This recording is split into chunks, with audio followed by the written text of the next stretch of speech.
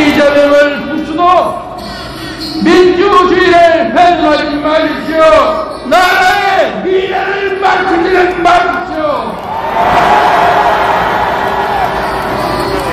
국민도 나라도 정권도 불행해지는 게 몰락한 이명박 박근혜 정권이 갔던 길을 선택하지 마십시오.